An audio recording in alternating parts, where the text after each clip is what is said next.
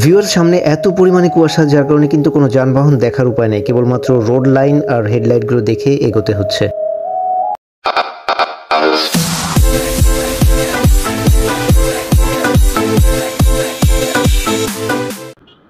অ্যালেন্স view চ্যানেলে আপনাদের আবারও স্বাগতম। মোটামুটি বেশ শীত এবং কুয়াশার ভিতর দিয়ে আমরা চলেছি খুলনা থেকে ঢাকার উদ্দেশ্যে। খুলনা থেকে ঢাকা যেতে বাস অথবা ট্রেন থাকলেও আমরা বরাবরই বাইক ট্যুরটা বেশি এনজয় করি। একদিকে শীত, সেই সাথে কুয়াশায় ঢেকে থাকা রাস্তাঘাট, যে কারণে বেশ সাবধানতার সাথে অনেকটা পথ আসতে হলো। আমরা অবশ্য বাসা থেকে বের হয়েছিলাম ভোর চারটা ত্রিশ মিনিটে, কিন্তু কুয়াশায় রাস্তা ঠিকঠাক দেখা না যাওয়ার কারণে এক্সপ্রেসওয়েতে আমাদের আসতে অনেকটা সময় লেগে গেল। খুলনা থেকে এই পর্যন্ত আসার সময় কম বেশি বাস, ট্রাক পিক বাইক আমরা চলাচল করতে দেখলেও এক্সপ্রেসওয়েতে এসে কিছুটা অবাক হলাম। অন্যান্য যানবাহন থাকলেও বাইক একেবারেই দেখছি না। যাই হোক, সে কারণটা একটু পরে বলছি। আসলে প্রত্যেকটা জায়গায় যাবার আগে সেখানকার রাস্তাঘাটের বর্তমান অবস্থা সম্পর্কে ধারণা না নিলে যা হয় আর কি। আমরা ঠিক তেমনই একটা ভুল করেছি। ভিউয়ার সামনে টোল প্লাজা সো টোল দেওয়ার পরে আর কিছুক্ষণের ভিতরে আমরা পদ্মা সেতু পার হব। না, আসলে বিষয়টা তেমন না। এটা মূলত এক্সপ্রেসওয়েতে চলাচলের জন্য যে টোল দিতে হয়, এটা সেই টোল।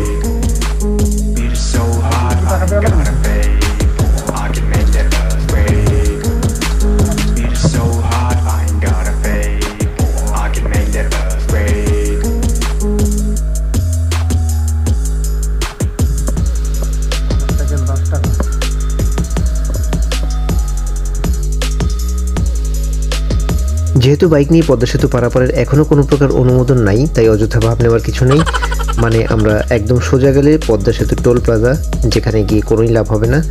আর কিছুক্ষণ আগে যেই ভুল করার কথাটা বলছিলাম, সেটা হলো খুলনা থেকে ঢাকা যাবার সময় পদ্মা সেতুর আশেপাশে যেসব ফেরি চলাচল করতো, সেগুলো এখন বর্তমানে একদমই বন্ধ।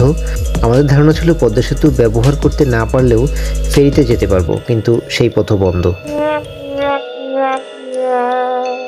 স্থানীয় লোকজনের কাছ থেকে জানতে পারলাম পিক সার্ভিসের কথা। সেতু টোল প্লাজার কিছু আগে হাতের বাম দিকের রাস্তা, যেগুলো ব্যবহার করে আগে ফেরিঘাটে যাওয়া হতো, সেইখানেই পেয়ে গেলাম পিক সার্ভিস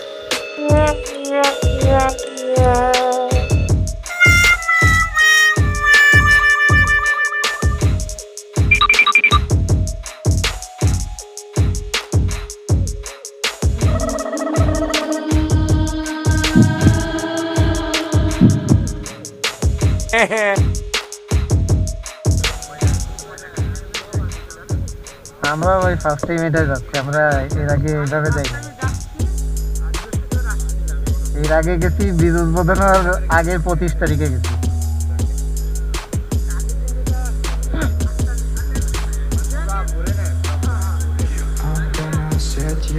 তার মানে ওইখানে আরও দুইটা তো দেবে ওইখানে ওই পাশে আরও দেবে না? ওইখানে তার পেছনে তো আরেকটা দেবে তার মানে আরও মিনিমাম তিনটে হবে।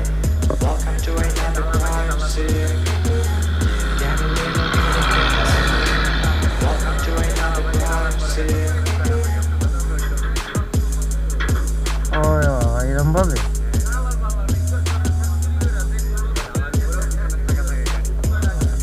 কোথাও বাদ দেবে না। যদি সম্ভব হইতো মনে হয় দোতলা করেও দিত। হ্যাঁ।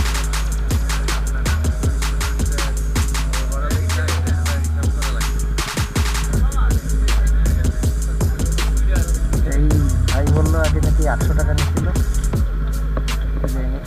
হ্যাঁ? আটশো টাকা। আমরা কিছু বলিনি, আমরা দাঁড়াইছি, তার ভিতরে আপনারা আসছেন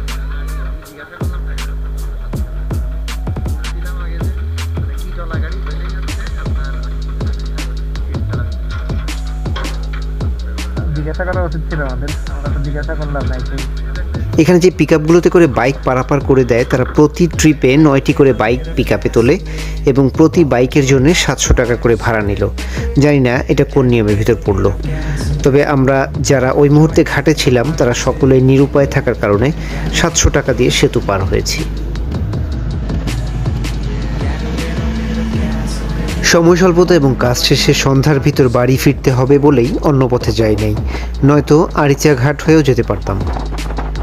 বাইক নিয়ে পদ্মা সেতু এইভাবে পার হতে হবে ভাবিনি।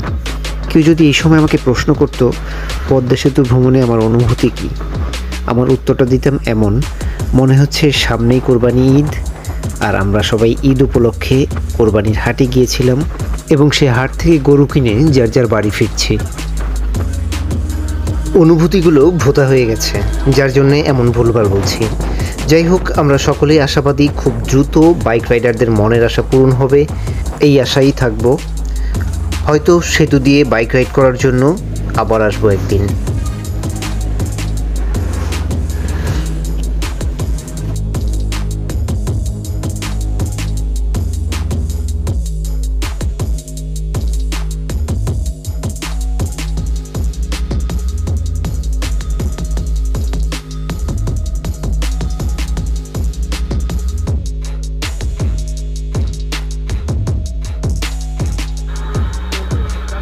আচ্ছা এখানে বাইক রাখা যায় কোন জায়গায়?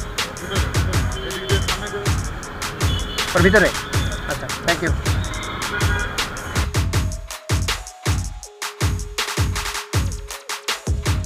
ভিউয়ার্স ভিডিওটি শেষ পর্যন্ত দেখার জন্য অসংখ্য ধন্যবাদ। ভালো লাগলে অবশ্যই লাইক কমেন্ট এবং শেয়ার করতে পারেন। যারা সাবস্ক্রাইব করেন নাই, তারা সাবস্ক্রাইব করে পাশে থাকবেন। এখন বিদায় নিচ্ছি, তবে দেখা হবে অন্য কোনো ভিডিওতে। সবাই ভালো থাকবেন। এই প্রত্যাশায়, টাটা।